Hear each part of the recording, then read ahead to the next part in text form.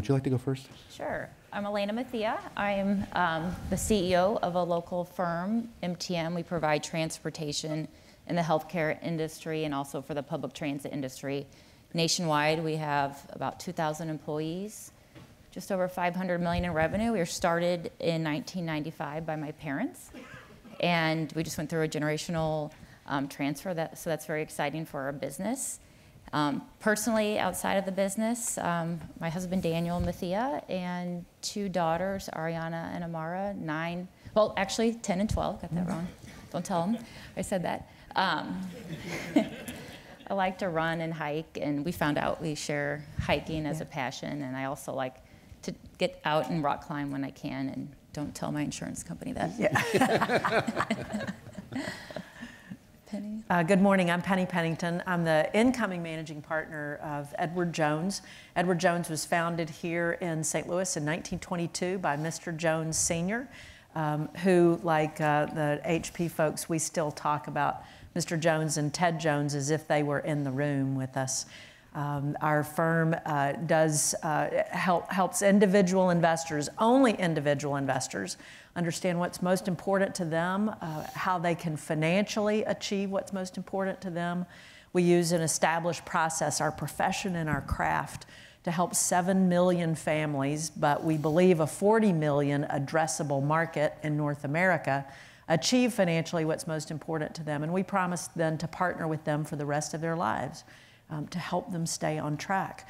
We, are, uh, we have 17,000 financial advisors. That is our distribution model and serving our clients uh, is the only model that we've ever had. And we're the largest firm in terms of number of financial advisors in our marketplace. We are a private firm. Uh, we are owned by the, the men and women who do the work of Edward Jones. Um, I, um, I am in transition with our current managing partner. Those of you in, in St. Louis know Jim Weddle well, um, learning literally at his side um, after a 42 year career at Edward Jones, nearly half of our existence. Um, learning from a leader like that is extraordinary. So, not a whole lot of free time, but when I've got it, um, I'm, a, I'm a hiker, a cyclist. I love the, the culture and arts community here in St. Louis. So, that's me. Thank you. Thank you. So, our panel, I should have said, is, uh, is really about strategic ownership. So, you hinted at this, Penny, but could you just take a minute to talk about what the ownership structure is at Edward Jones? Sure. Uh, our firm started as a traditional brokerage firm. Mr. Jones Sr. owned the firm along with a few other select partners. And when his son, Ted Jones, really took over the firm starting in the 1970s, um, Ted famously said, um, I'm a communist. I believe that the workers should own the means of their production. The difference is I'm going to make them buy it. so still today, he found he, he organized a, a limited partnership structure back in the 1970s, and still today that elegant, very simple structure remains.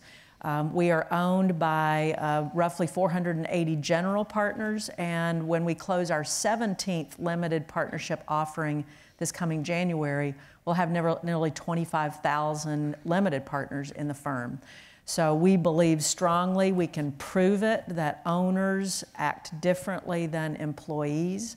They love the place. They are willing to give discretionary effort that drives the success of our organization. And we are bound together by our four core values. Um, the, the, uh, the ownership of the firm does change hands at book value. So the general partner's ownership changes hands at book value, and then every few years we raise, limited partnership capital. This one, this raise will be about $400 million. Um, spread among those 25,000 limited partners. They are not voting partners in the firm. Uh, instead, they share in the profits of the firm. But as again Ted said famously years ago. I don't need owners to share in the profits, I need owners to share in the work. So, qualification for that ownership comes from um, doing the work the way that Ted asked us to do it. I just want to highlight real quick and go to Alaina sure. that a lot of people talk about ESOPs as a very effective mechanism for getting ownership to the employees, and it is. It's a good program. It's a federally sanctioned program. But there are other models, and, and, it's important we talk about that too. There are other models of employee ownership which aren't under the ESOP structure They're also very effective too. So thank you for sharing that. Yeah. Lena? So our ownership structure, so we just changed hands from the first generation to the second generation. And so there's six children in the second generation, kind of a Brady Bunch family. My parents got uh, started their company after they got married, so my dad and my stepmom. So uh, there's four children that are not active in the business, so they have non-voting stock. And then the two active, my- myself and my sister, have the voting shares. And we think very similarly that the people running the business should have control of the business. And we're very committed to being privately held, um, family owned and operated. I love that chart that you showed because it's similar uh, story to our main competitor who is publicly traded, started as a privately held company, went out, raised capital, private equity funding, and um, then went IPO or went public, not IPO, but went public. And I remember seeing the founder one time at a trade show, and he grabbed me and he said, Hey, tell your parents congratulations. And I said, Well, I'm sure they want to extend congratulations to you. I mean, huge success taking your company public. He said, No, they've created way more value than I would ever be able to tap into by staying private. And it was, and it's been hard to stay private. You know, we've gone through downturns and through um, financially tough times, but it's all about having good partners and good advisors, and we got through those.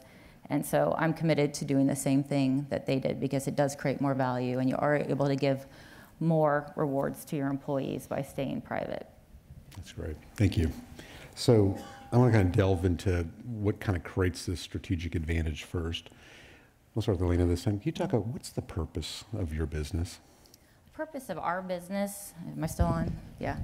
Um, the purpose of our business is to really serve the individuals that we're helping every day. They're transportation disadvantaged, they're either impoverished, elderly, sick, um, cognitively delayed, and they really need transportation. Imagine not having a car. Um, imagine trying to get to work. Imagine trying to get to your healthcare appointment. And so we really care deeply about serving the transportation disadvantaged in the country. In the United States, we don't have great public transportation system, and not having a car can mean not having a stable job and not being able to provide your family and stay in that you know poverty cycle. So our employees really are driven by that social mission. We're not a not for profit, but we have a very social mindedness in our company. And then you know, extending that to our employees and allowing them to feel that they're not just working for a paycheck, they're working to serve individuals gives them a lot of um, value. And then our job is to then serve our employees. You know, we really do have that servant leadership mentality. We want our employees to grow, prosper, build wealth, build talent. We uh, just yesterday somebody said, "Oh, this great IT person, she's going to Worldwide Technologies," and I said, "Well, let's celebrate." you know, she's got a promotion and she's earned it and she's been a great worker. And so let's not be sad when our employees leave. We want, don't want them to leave, we want them to stay at MTM, but when they're successful, we're successful. Same question for you, Penny. Um, so our vision is to be the first choice of serious long-term individual investors in North America. And the way that we go about doing that, our, our mission is um, to meet with them uh, to build deep, trusted relationships. And you talked about deep, trusted relationships a few minutes ago to understand what's most important to them and then build a customized strategy to help them achieve financially that. We believe that what happens then is we make a difference in people's lives. They themselves and their families become more confident and empowered about doing the things that are most important to them. We have a veteran financial advisor in Kearney, Nebraska, Jim McKenzie, and he said years ago uh, his role, his uh, mission, is to create the most millionaires per capita in Kearney, Nebraska than in anywhere in America. And he said it's not about simply creating the wealth. It is because if we do that, the libraries, the hospitals, the school system, the cultural institutions in Kearney, Nebraska will be stronger because those families have achieved what's important to them for their families, and then they have discretionary wealth to make their communities even better. So we seek to do that today 17,000 times over, probably going to, to much bigger than that because, as I said, we believe the, the addressable market uh, out there in North America is about 40 million families. So we got some runway. So, kind of related to this, Alaina, when we talked the other day, you said you'd been at a conference, and people were talking about what stock's going up and what's. I guess the last couple of days have been bad, but Yeah, this week, right? a couple of weeks ago, you know, what's going up and what's the next hot tech thing and who's into what, and you made some point about nobody was talking about the importance of like a reliable company, mm-hmm. you know, that employees can count on, that customers can count on, the importance of maturity in business. Mm-hmm. Talk a little bit about kind of that experience and how you reacted to it.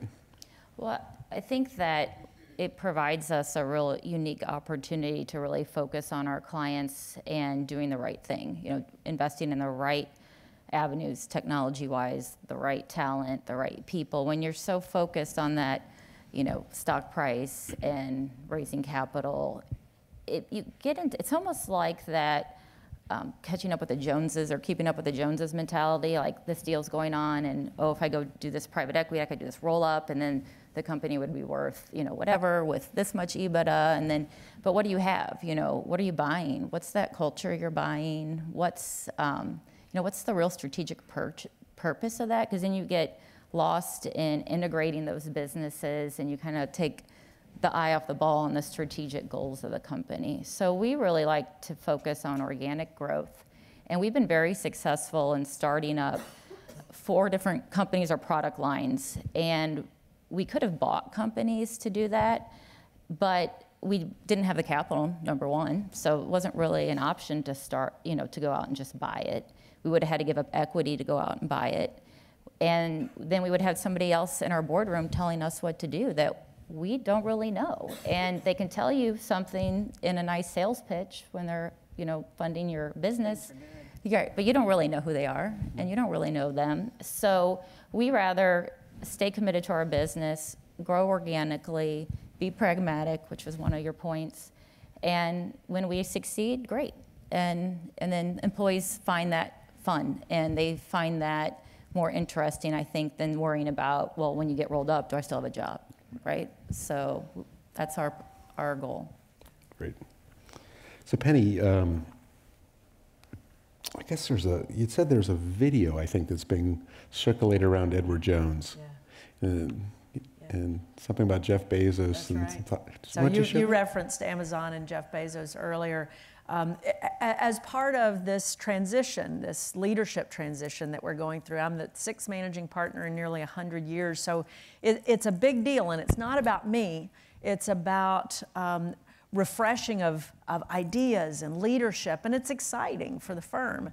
And uh, everybody that I meet nearly grabs me by the lapels and says, Penny, what are you going to change?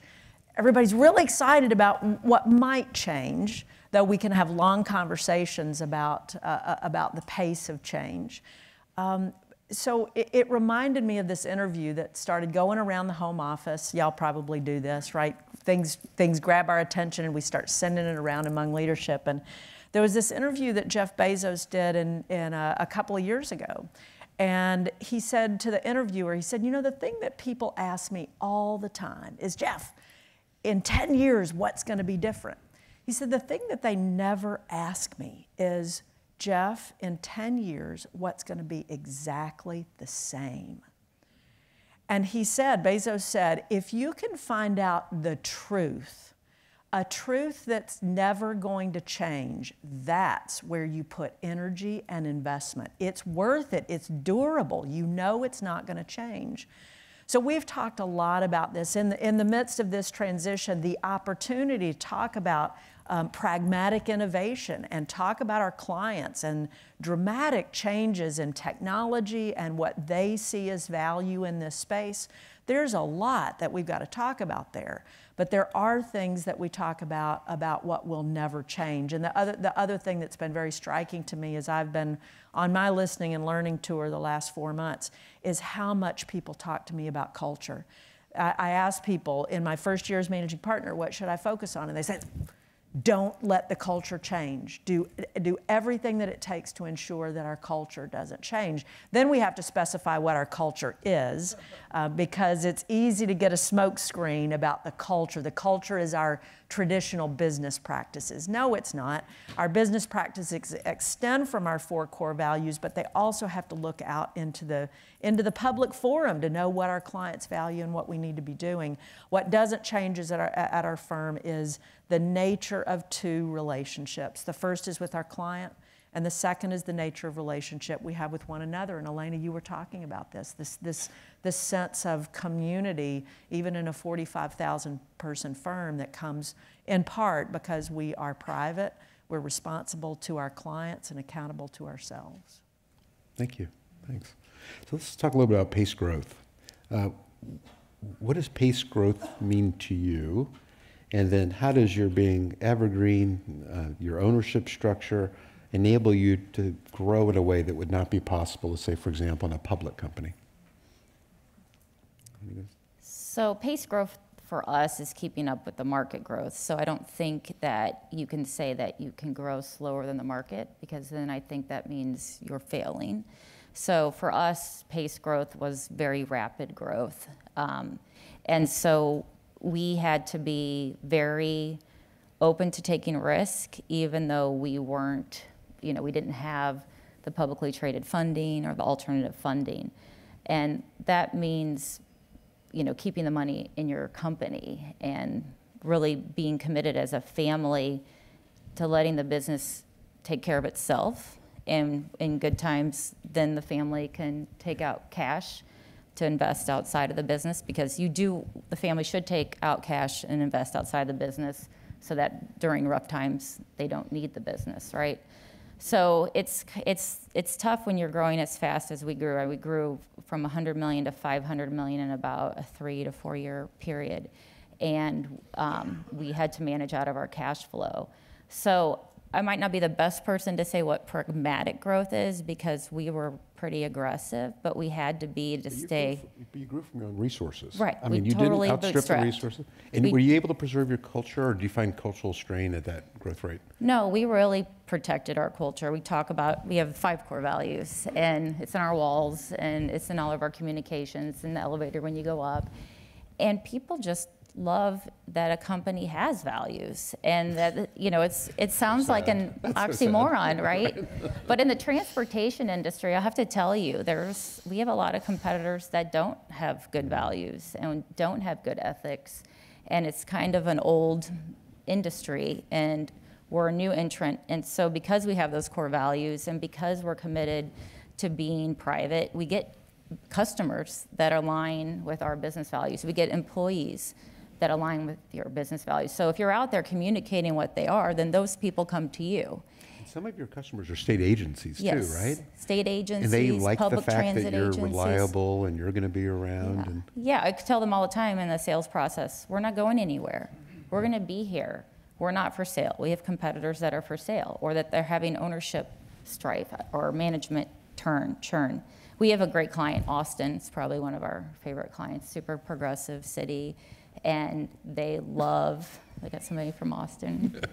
there's, there's a few. Austin weird. Yeah. we we fit in with them. You know, we're progressive and we you know, we have a socialist mindset. Maybe we're not communist, but we're social, socialist and we really believe in But you still love capitalism, right? well, you have to have capital right, to be a socialist. So the socialist countries have a lot of capital, right? So, you know, it's kind of an You oxymoron. put it together. Yeah, exactly. So, hopefully that answered your question. Yeah, no, that's great. Thank you. meandered around. Yeah, the, this pace growth thing, I've been trying to, to really be a student of that in, in the past number of years that I've been a leadership in the, fir, uh, leadership in the firm. And certainly um, as I've been listening and learning from our former managing partners over the, the past several months. Um, in 1980, our firm had essentially um, $10 million of capital and 220 financial advisors. In 2017, we have $3 billion of capital, all internally raised, and 17,000 financial advisors. So I'm not sure if that's paced growth. That, that is torrid growth, but it came, there, there was some lumpiness in that growth in terms of the, the, the number of financial advisors that we were growing. And again, the financial advisors is how we, how we serve our clients. Um, there were moments during that growth, and 1994 was one of them, when we did outstrip our supply lines. Uh, we, were, we were growing and training so fast that our training program broke down. And our managing partner at the time, uh, John Bachman, recognized this was not good for clients, it was not good for what we were trying to achieve. He shut the thing down. And uh, a number of leaders went out to Pere Marquette and they rebuilt the, the training program over a nine month period of time, and then they, they cranked it back up. So um, th- this idea of, of paced growth, I think, Alaina, you're right. It, it um, there's a certain amount of opportunism and a certain amount of requirement of growth that then um, requires, uh, requires capital, requires ma- major calls about capital. I was talking to John Bachman several weeks ago, and I wanted him to tell me what it was like to, do, to make a bet the farm decision. And one, there, there were two of those decisions where we essentially spent the equivalent amount of our capital both on communication systems. They were very innovative communication systems at the time. In fact, they were purpose built. And uh, the, the, two, the two critical leaders were Ted Jones and John Bachman. And I said, What is it like to bet the farm? And he said, Penny, we didn't really even think about it. We knew if we didn't do it, that we wouldn't be here. We knew if we did it wrong, we wouldn't be here. So we had to do it, and Ted's name was on the door. It was him who was going to make the decision. So we made that decision. I can't, I, I, don't know as a leader if I'll have that kind, that would be a $3 billion decision. I, I mean, I, I, I can't quite fathom it, but as I think about the audacity, the courage, the fact that it was a private firm and was so closely held enabled these two visionary leaders to, to make that kind of decision and then, uh, then, then uh, enable our growth over time. And, and so, pragmatic innovation for us is how do we continue to do that? That's great. And you said something that was interesting is you said sometimes the growth is lumpy. Yeah. That's yeah. hard if yeah. you're a public company. Oh. Nobody likes lumpy growth. well, it, it, wasn't great for us either. So, so we, we, have, we have three peaks of growth, and, and there, there are client measures and there are financial advisor measures. And there was one year that we grew, it was during the financial crisis, that we grew by one financial advisor. And we had one month in that year where we were just barely profitable. And man, that was that was scary and maddening. And then this year we'll grow by. But you laid off about a quarter of your staff. Uh, we laid off no one. Jim Weddle said, "Here's yeah. what we're going to do." yeah, I mean, 50% of our operating expense is people. Right? It's a people-intensive business. Jim said we're going to cut 10% of our operating expenses that meant we had, without laying anybody off, that meant we had to cut 20% of our non people operating expenses. And we came together, we did it, we exceeded that, we didn't lay a single person off. Awesome. That's, uh, that's awesome. what's, where, what you're able to do, right? Yes. When, you're, when you're thinking about your clients and you're thinking about your people. You don't kill your culture for a penny a share. No. You don't do it. All right. So, um, putting compensation aside, let's talk about people first and tell a story, just a, a meaningful story of something you've been able to do for your employees or for an employee that might not have been possible if it wasn't your company with your ownership structure and your values, something you're very proud of. Mm-hmm. Do you have one that you want to share? Yeah, I'll tell a, a, a, sort of a recent one. And, and I do want to say this um, we do not believe that our associates come first. We believe our clients come first. Our first core value is the interest of our clients come first. We believe that with that ethos, the, the mission orientation of the firm enables all of us as associates and leaders to come together to, um, to progress that, that vision. So we, we very, um, very publicly say that our associates don't come first, our clients do.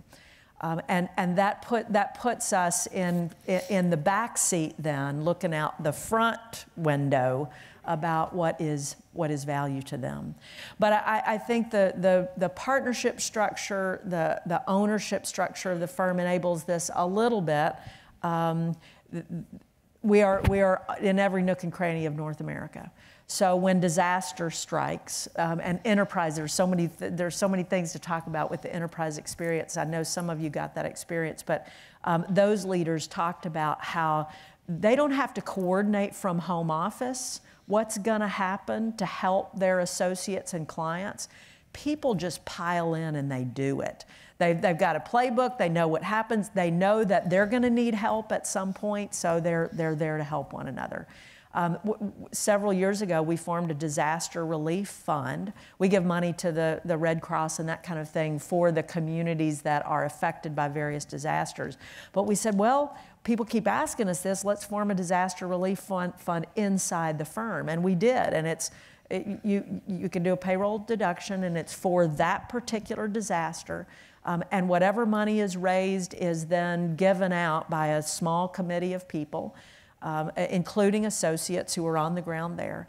And so every disaster that comes up, we've got you know several hundred thousand dollars that come into this disaster relief fund. But but even more importantly, those markets come together and they just go help each other.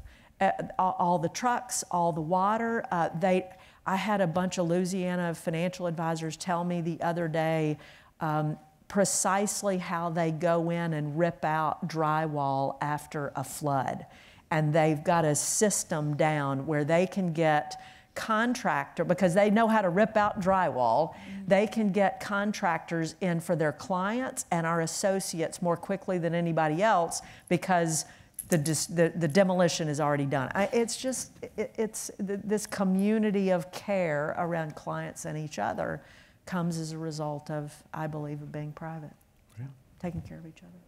Well, it definitely seems like more hurricanes are in our future present, right? So we have a lot of experience. Um, very similar story, actually, and I think it goes to that story of having a great employee culture.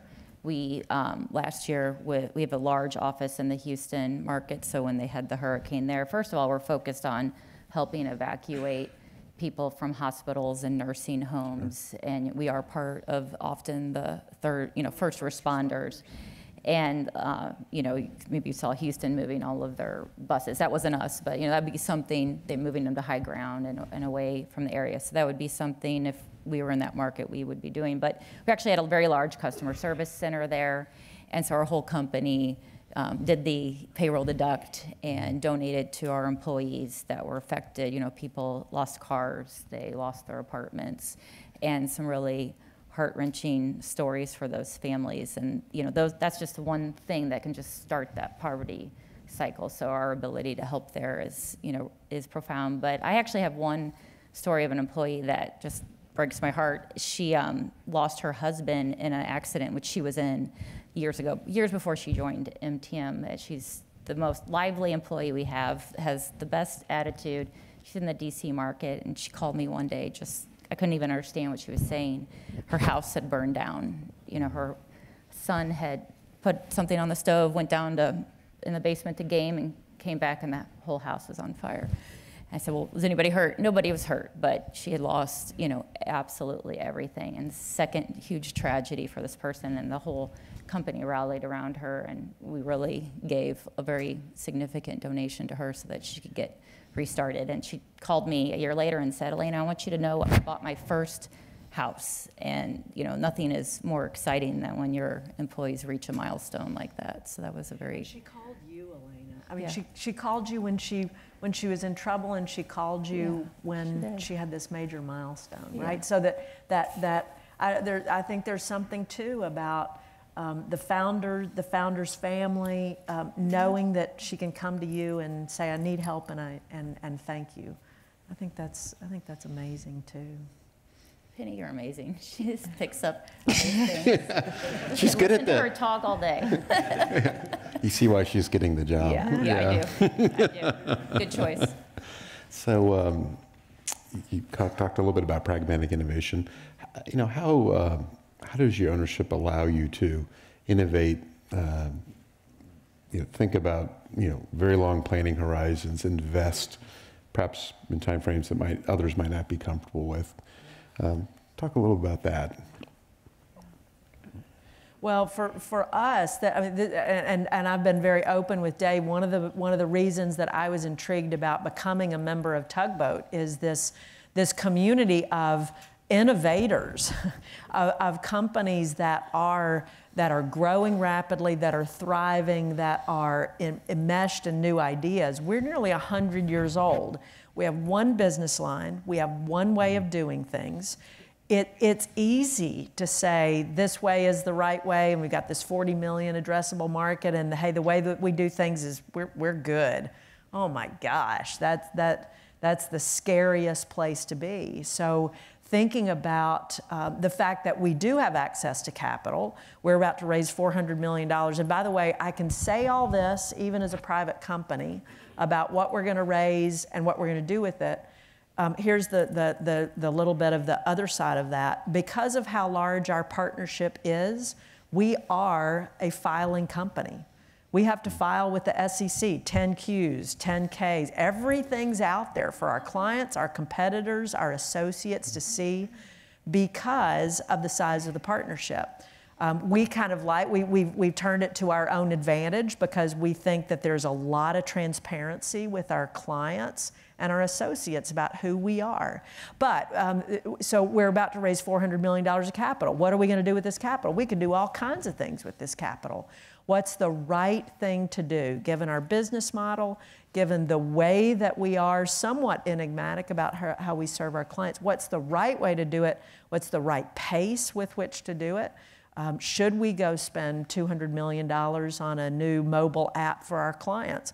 Probably so. We've never done that before, so how do we, how do we go about doing it? So, using the capital wisely, pragmatically, but innovating at the pace of our clients. One of my, um, one of my fellow leaders said, Penny, how long are we going to make our clients wait for dot, dot, dot? Um, the type of value that we can deliver to them. We've, we've got to make some innovative decisions about our business practices and especially our technology. For MTM, um, we have to, you know, right now respond to the changes in the market. You know, you've got Uber and you have Lyft, and you have that real-time experience and get to watch the car coming to pick you up. And so now that's the customer experience requirement, right? And so we have a much different delivery model. We have a fragmented network of transportation providers serving all different levels of needs and modes all throughout the country, and there are all different levels of, you know, IT uh, you know, acuity. So we had to build a strategy that doesn't mimic what Uber and Lyft does, but actually serves our market and meets our needs. And plus, think about our end consumer who might have a smartphone, might not. Um, and so we have to develop a technology solution that is much more difficult and different than what consumers are used to. But our clients are able-bodied consumers. They're people who fly in planes all over the country and get the Uber and the Lyft, right? So educating them about how it takes us longer to do it right, to do it with high trust certification, you know, we've got HIPAA data, you know, it's a whole layer of regulation and complexity also to deal with. So um, but we have to respond. And we, so we literally the last two days um, were in all day meetings doing our budget process for next year and going through what are, what should we be spending our money on? What is going to drive our market share? What do we have to do to keep the lights on? What do we have to do to protect security and data? So not unlike any, any business. I mean, it's pretty standard and what resources do we have available? And then if we don't have enough, then are we going, how are we going to raise that money or how are we going to delay it and, and whatnot. So I, I don't think it's anything unique or different other than that we're not going to just put lipstick on a pig. You know, we're going to do it the right way. We're going to invest the right way. We're not going to make up a story just to have a market story. We're going to do what's right for the business. Yeah, I think that's the important thing is that it allow, it might, in hearing what you said and you said earlier, is it allows you the opportunity to um, to really get underneath what you really need to do because constraints actually drive creativity, you know, and the opposite would be is you raise a lot of capital, you do another $350 million financing, you know, just came in from the Vision Fund, and you suddenly you look around and all your vice presidents say, I can spend $5 million, I can Oh, spend yeah. $10 million. And everybody, yeah, you can spend it, but and you lose track of what a dollar's even worth. It's, it's, a, it's a very manic type environment, so it may seem like uh, um, it it may seem like it has limitations, but also has tremendous strengths because Well, because it of just that. goes back to the prioritization of what you should do. Right. You can do everything, but will you get anything done? And no matter how much cash you have, you can never do everything No. because there's always something else you can do, right? Right. Okay. Let's ask some questions. Over here. And while he's walking over us, uh, for a quick answer. So recession's probably coming someday. They seem to do that at some point. It's been a while. Um, Are you scared? Are you optimistic? How do you think about recessions? Well, I, I'm optimistic because for us, a downturn's great because when you do have new entrants or all this new tech and all this fervor going on in the market, you know, some of that might just go away. And so we, we're actually looking forward to that moment. That's great. Yeah, for us, the, a recession and a downturn has a direct impact on our clients' ability to financially achieve what's most important to them. So for us, it's a real focusing mechanism. Um, we're, our investment philosophy is a long-term investment philosophy. So we earn our keep in a lot of respects in how we serve our clients. When they start to get wobbly in the knees, um, we got to be there to, to help them stay the course and remain confident. And then when it comes to home office leadership around that, that's critically important. When it comes to what it does to our, our economics, um, it's all a focusing mechanism. So in a, yeah, in a strange way, we kind of, we, we, we know it's going to come, so we might as well look forward to it. I was at, at um, I was at J.P. Morgan yesterday, and Mary Erdoes is the CEO of the um, of their wealth management and asset management area, and she um, she tells a story about um, someone giving her advice years ago that if you can't get out of it, get really, really into it. So that's the way we feel about you know when when market downturns come, we get really into it. Thank you. Uh, obviously, when things are great, things are great, and if you're flush with cash, things are wonderful. It's easy to stay true to who you are. Um, but if you're in a situ, if you're not in your both of your cases, I'm not sure how much you rely on debt to fund your your, your needs. Uh, but to the extent that you do, how do you resist pressures to not stay true to who you are. You know, when your lenders or other funders or people who supply you with, with capital, when they come to you and they say, look, I really think you should be doing this, and you're saying, no, this is who we are. How do you resist those, those pressures? I can talk about that. In '08, we went through, um, we entered a really bad contract right when the market downturn happened. Our bank had been a major buyer recently um, at that point of a mortgage lender, and they were in severe um, credit issues, so they had to get rid of bad credit. We were in that. We were the credit they asked to leave, and that was the most stressful time in the business that I can remember. And you know, we could have gone out and raised mezzanine debt. We could have gone out and got private equity debt. Um, but that's the worst time to get it when you're in a bad spot, right? You don't. You're going to give away a ton of your company if you do that. And uh, I remember my dad and I just talking over Christmas while everybody's opening presents. You know, we're in the back corner, you know, trying to solve this major business crisis and not let the family know, hey, you might not get those kinds of gifts next year. and that's when we got really creative. And because my dad was such a networker and um, really talked to people all the time, he knew of some alternative financing with state tax credit, which we were a great um, candidate for since we go in and we set up a state contract and we hire a lot of people and a lot of jobs. We were able to tap into that kind of alternative financing. And so I think that's just um, advice to always be out and about and talking to people and learning from other people. You don't know when you might need that advice. And if you stay insular in your business, you're losing opportunities to learn from other people. So Tugboat's a great example of getting together and learning from each other so that you can tap into help when you need it. Next question? I go, go here.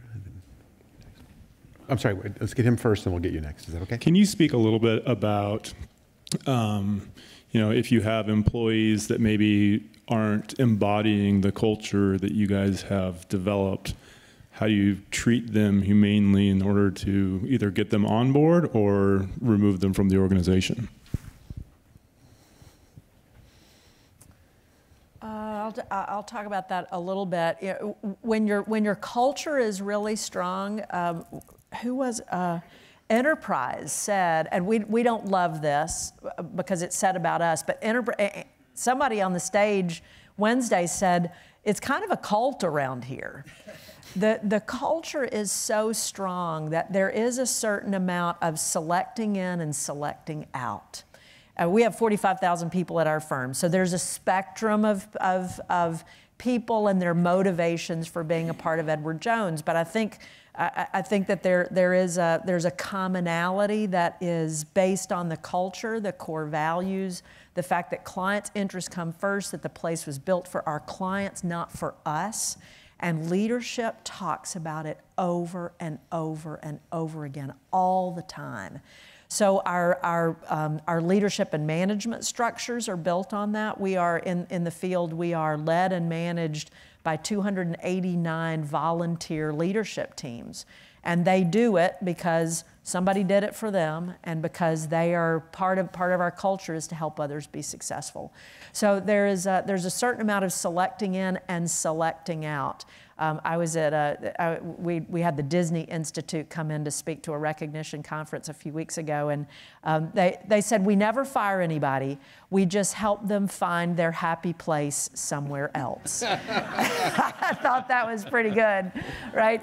Uh, so so there, there, is a, there is a certain amount of, of fit with the organization. When we hire somebody into home office, uh, it is notoriously long. It can take months interview panels that go on for days. I mean, they, they meet people all the way to the, to the role of the managing partner because it's so important for them to feel comfortable with what they're, what they're coming to and for us to feel comfortable with that. And by the time it's all over, they say, oh, now I get why this took so long. I would echo all that. I mean, we're pretty rigorous in using the assessment process, um, really understanding why people have succeeded and failed in the past. And so, really looking for those attributes in our candidates. You know, the biggest one for us is collaboration. We have we are always in huge projects and startups, and you you have to be somebody who wants to work on a team. You cannot be, um, you know, the negative Nelly in the group. So, and similarly, if there's we hire and fire for culture. So if we there unfortunately there is a bad fit, then you know we've already coached that person many times. We've had many conversations. We've gone through the assessment. We share i share my assessment with my team. You know i say where are my development areas? And then that way they can share their development areas. You know you establish that safe place. We're all here to grow. We're all on our own journey. Nobody's stagnant.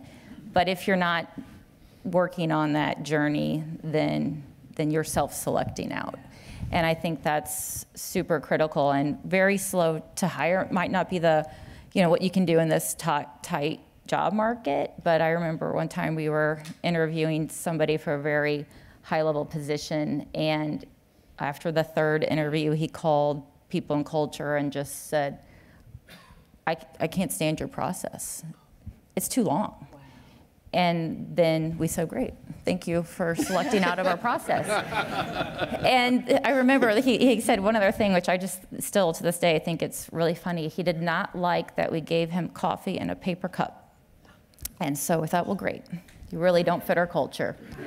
so I, I think the hiring slow is probably one of the best things you can do. You know what, what you're talking about, Alaina, and the vulnerability of leadership to share what their skills and competencies are and then what they're working on. That says so much about a culture and welcomes people into a place to be the very best that they can be. So this, this is, uh, it's a segue for me to talk for just a minute with that question about diversity then of thought and perspective when you're creating a culture that's really strong and and observable. You know, Enterprise said use the word cult, and that has been that has been used about Edward Jones as well. And I get where people are coming from, um, but there's a dark side to that. The dark side is, wow, I don't look like them. We know what, what right? What, we know what I'm talking about there, right? Mm-hmm. Um, the, the way that our industry has looked has been the traditional majority for decades. And so, have we set ourselves up to be a place where people say, well, I don't belong there, either as a client or as a really talented associate? So, really specifying what we mean by our culture and the fact that when, when we're talking about the success of the organization, we know that we need to enable the success of a wide array and perspective of people. But to Alaina's point, collaboration, client first, building relationships, those competencies are what the culture then and the, the talent needs to be built around. Yep. So that we don't get confused about, oh, you gotta look, you gotta look just like us Yep. to have a, a successful career at our firm. And if you want to get to here, then you have to be purposeful about it, Yeah, for sure. not just For accidental. sure. Alaina, thank you. Mm-hmm. Thank you. Penny, thank you. Thank you. These are amazing women, Thank you. amazing women.